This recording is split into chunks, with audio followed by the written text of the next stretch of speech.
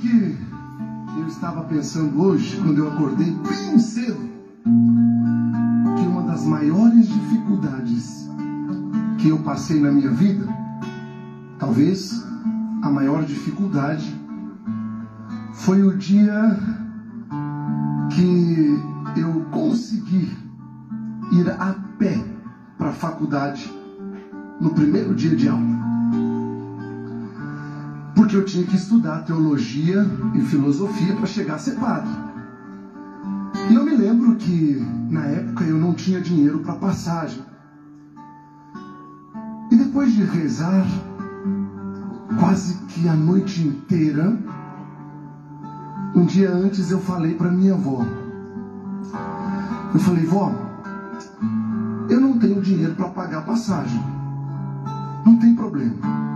A senhora me acorda de madrugada porque eu vou a pé. Deus me deu duas pernas e dois braços.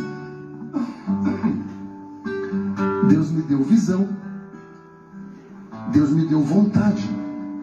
E acima de tudo, Deus me deu fé. Então eu caminhei quilômetros a pé. E de volta. E hoje eu estou aqui.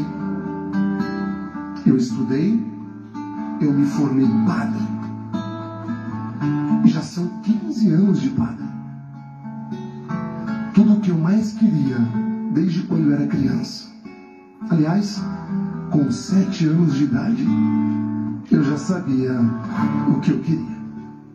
Eu queria ser padre. Eu brincava de celebrar a missa com suco de groselha, bolacha Maria e vestido com a camisola da minha avó. Eu contei essa história para vocês várias vezes. Era tudo o que eu mais queria. Ser padre. Eu confiava no Senhor. Nada conseguia me desanimar. Nada me tirava o foco. Eu confiei em Jesus Cristo.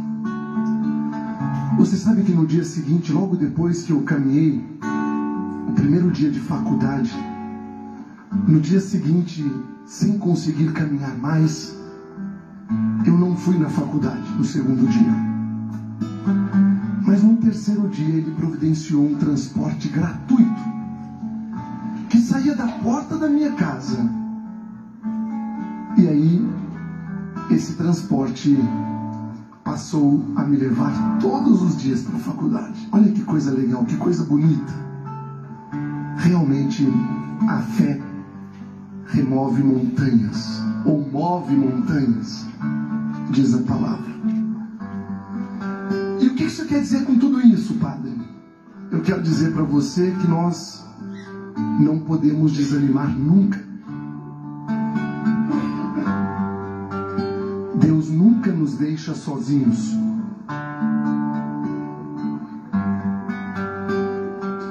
Deus sempre está comigo. Deus sempre está com você. Então, que a paz do Senhor esteja na sua casa, com você, hoje e sempre. E eu te convido hoje colocar diante da presença de Deus todas as tuas dificuldades.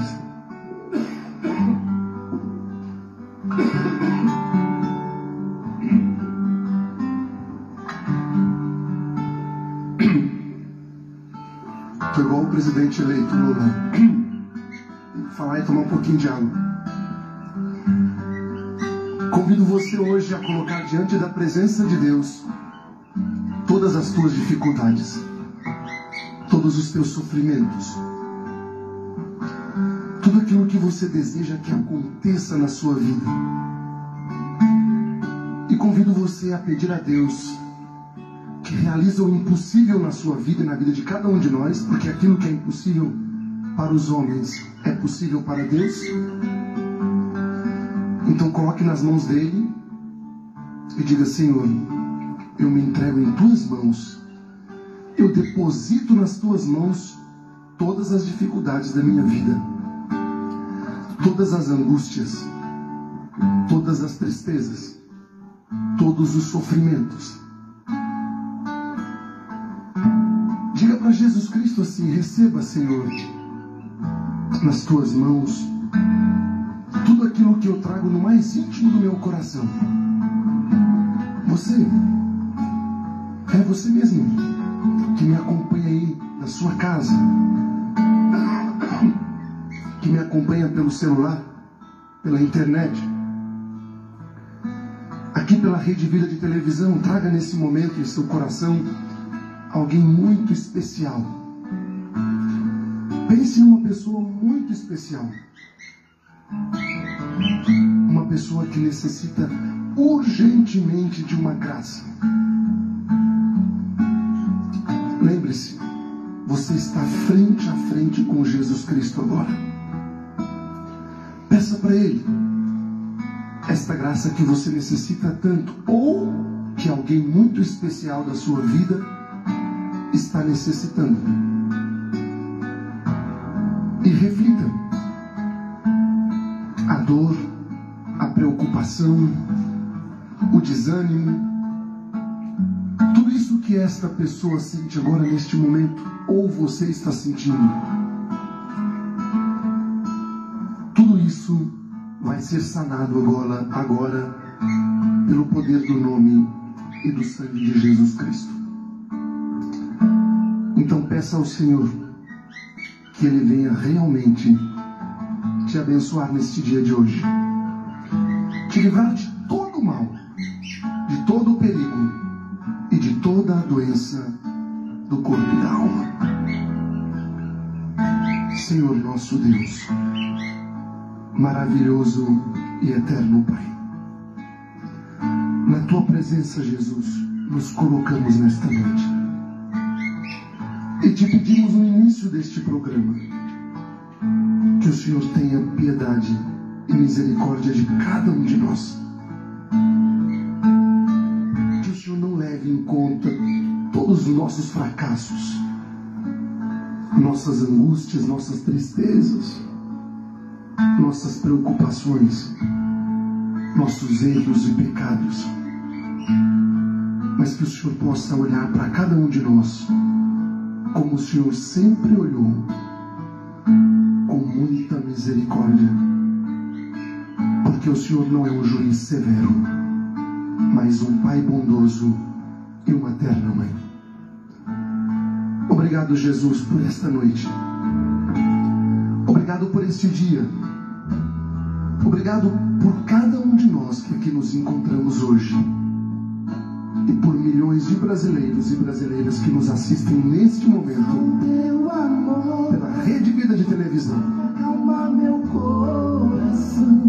Obrigado, Senhor,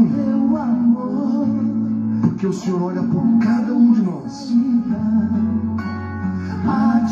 Mesmo sendo o filho mais miserável, mais pecador, o Senhor ainda nos ama, o Senhor ainda me ama, porque o Senhor é rico em misericórdia. E é muito bom sentir o teu amor e a tua misericórdia sobre a minha vida e sobre a vida de cada um de vocês que estão me assistindo agora. Que Deus te abençoe em nome do Pai, e do Filho, e do Espírito Santo. Amém. Eu entrego a minha vida. Só o teu amor pode acalmar meu coração. Só o teu amor pode encontrar uma saída a te servir.